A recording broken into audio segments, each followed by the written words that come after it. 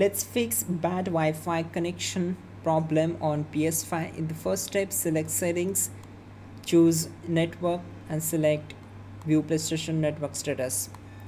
So make sure all the services are up and running. If not what you have to do is select settings choose setup internet connection press option button on the internet connection and select bands. So choose automatic option from here and then select advanced settings go down to DNS settings and change it to manual to access primary DNS and secondary DNS so in the primary DNS add 1.1.1.1 and to the secondary DNS add 1.0.0.1 then select ok. If these uh, DNS addresses uh, uh, you know does not work then choose primary DNS and add 8.8.8.8 and for the secondary DNS add 8.8.4.4 now select ok.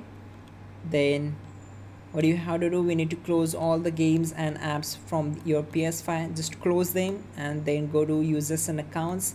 Select other option on the right side. Choose restore licenses and select restore. This will take around 4 to 5 seconds to complete the process.